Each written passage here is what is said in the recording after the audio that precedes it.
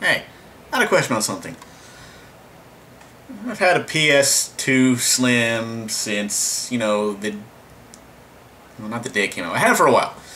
Had it for a year, still works fine. I think these were also on the original PlayStation 2, the, the fat one. But I can never figure out, and I don't know why they're here, but what is the point of the two USB ports on the system? See those there? I don't know if you can see them that well, but I, am just wondering. See them? There? Anybody? Anybody see them? Oh, they're like right here. And I just could never figure out why they were there. now, obviously, I know why they were there on the uh, on the PS3 because you plug the controllers into them to you know charge a controller or whatever or if you have like wired controllers you can plug in there and that's pretty much it. I mean that's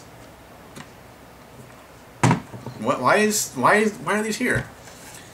I mean were they to put a keyboard and a mouse in there? Why would you want to put a keyboard and mouse in there? I mean I never really tried to put my PS2 online because I figured that would end in failure But even if you did that, you'd be playing your games. Why would you be plugging a keyboard and mouse since you're not going to be playing the game by keyboard and mouse? You're going to be playing it by controller.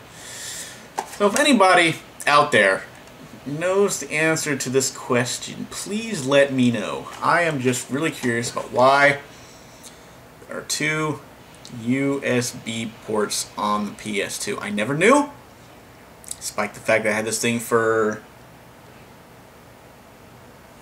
know, almost 10 years maybe? I think so. I think it's almost been 10 years. Just under 10 years.